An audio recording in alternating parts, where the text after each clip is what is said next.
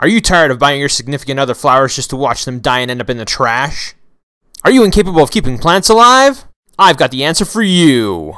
Metal flowers! Metal flowers are a true sign of your undying love because they don't die. And now you can get metal flowers for the low price of make them yourself, cheapskate. Stop throwing your money away like a chump. No! Metal flowers, the flowers that last as long as your love. Hello YouTubers, I'm John Cann and today we're going to build metal flowers. One of the more important parts of this project is using the templates. You want to make some templates out of cardboard. Uh, the metal we're using to make the petals and the leaves of the flowers is very thin sheet metal that I got from a tin roof. Anything that you have that's thin and flexible can work for this. And you're going to use a set of tin snips to cut the petals out and the leaves when you get that far. It's important that when you're making your template you find a center on the petals, that way you have somewhere to mark and punch later for the hole for the stem. I'm going to use a terracotta pot for the flower. You can use whatever you'd like. Here are the templates that fit in the pot. And you're going to trace the templates onto a piece of metal that we can cut it out in the proper shape so that it will fit in the pot. You can cut these shapes out however you're able to with a saw or a torch. I'm using a plasma cutter. The hole in the larger metal piece is going to be for the solar unit that we're going to install in this to make the flower light up make sure that you've measured your solar unit to fit accurately. Now we're going to cut out the leaves. They just need to be thin strips of the same sheet metal we used for the petals. Cut them to look kind of like a leaf with a point on the end.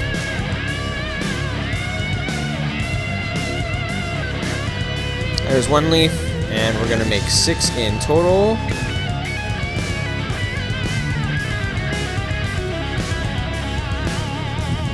Now I've got a piece of brake line that we're going to use for the stem of the flower.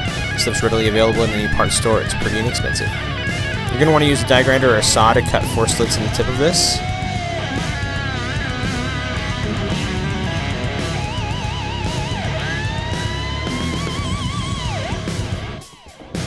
Yeah, like that.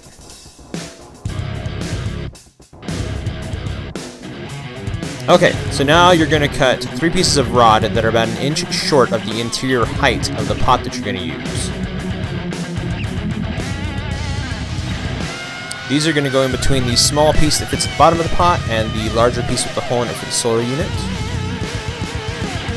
This is where we get our solar powered LED. It is just one of the cheap garden light stake things that you can buy. We're going to measure this so that we can cut a couple pieces of thin flat steel to build a little basket to hold this into our big metal piece. The little pieces of flat strip that I'm using are actually left over from the last project. They are pieces of a windshield wiper blade. Now everything's cut and seems to fit good, so it's on to grinding and sanding to smooth everything out.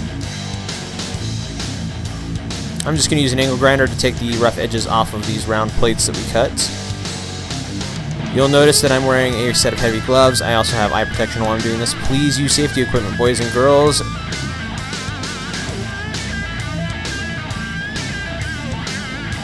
And now I'm going to use a carbide burr tool and a die grinder to clean out the hole where the solar unit goes.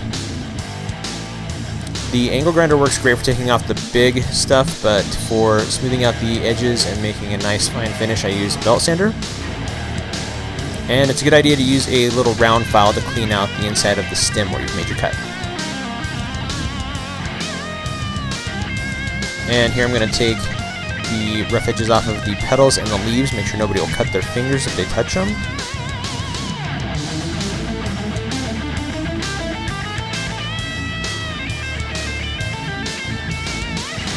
Once you've smoothed out all the rough edges, you're ready to start prepping for the final assembly. Pieces of sheet metal that you use to make the petals are really thin. It's hard to drill them. You wind up using a punch and a hammer to just punch a hole through them. I use a vise and just kind of give them this rotational movement. Once you've started the hole with the punch, you want to use a set of tin snips to clip the inside of the hole. That way your hole will expand evenly as you drive the punch through it.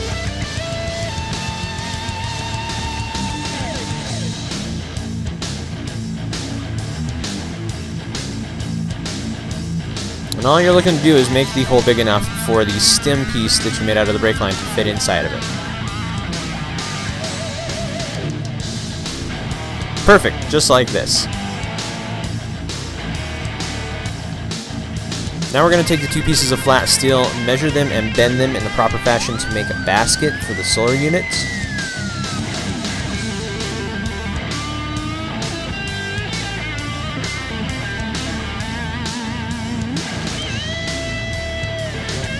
They should look like two giant staples when you're done.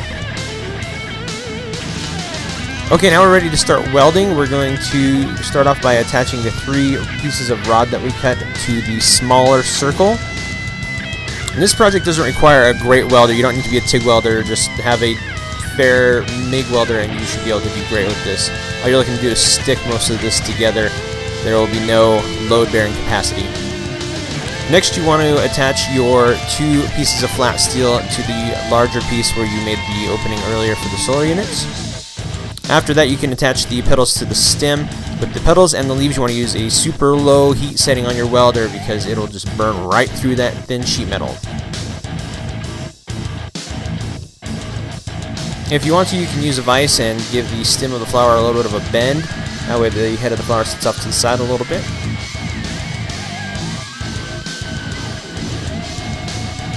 We're to drill a hole in the large round piece of metal. That way we have a place for the stem of the flower to go through. We'll weld that in there. And now you're ready to attach the bottom circle to the top circle.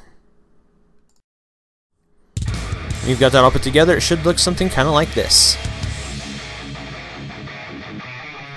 And we're ready to attach the leaves. Once again, low setting on the welder.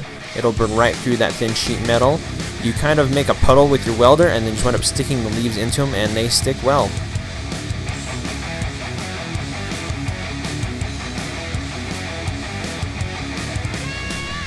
And it's starting to look like we've built something.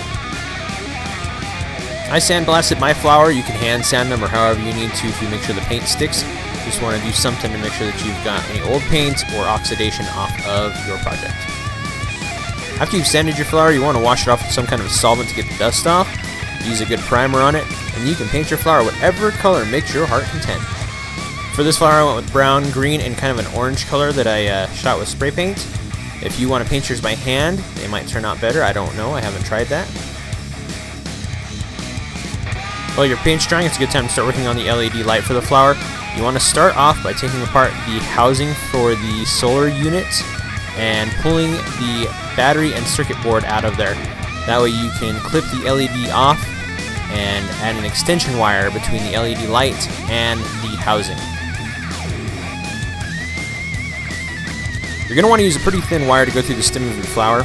Once you've got your wire cut to length, you want to go about 4 inches and cut it again, and you're going to attach one end to the LED, the long end, and the short end you're going to wind up soldering directly to the circuit board of the solar unit. It's important to note that the LEDs are typically polarity sensitive, so use two different colors of wire and make sure that you test this system before you put it together make sure that you have your polarity correct. Now that you have all of your wiring soldered up and a little bit of heat shrink on one side of your wires, you can go ahead and put your housing back together and give everything a final test. Looks like the light comes on like it should.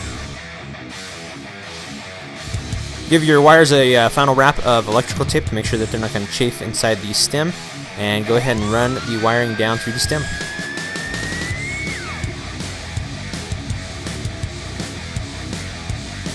You want to push the LED down into the flower to where it is flush with the petals.